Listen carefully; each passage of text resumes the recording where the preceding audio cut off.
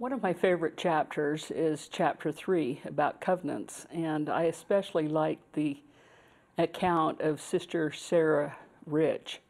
She was one of the uh, early members of Relief Society in Nauvoo, and she had been asked by Brigham Young to serve in the temple. And as you recall, a number of people, the saints were anxious to go to the temple and receive their endowment, uh, particularly before they left on their journey west. And so I love it uh, how she explained what joy that brought into their hearts and what uh, how that helped them, the, with, them with their faith. They knew that they were having hardships then, and that they knew others were coming. It, is it appropriate for me to just read Sure, a yeah. couple of lines from her?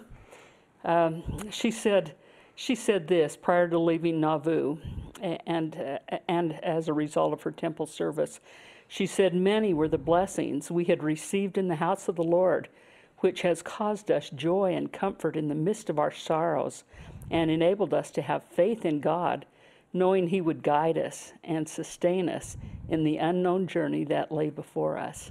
And it, it just so when I hear her, her and others uh, tell little experiences from their own life like that, it just builds my faith. It it it gives me courage and thinking, well, yes, I can I can do my assignments if I remember the the covenants I've made, and so that's something that stood out in the book to me.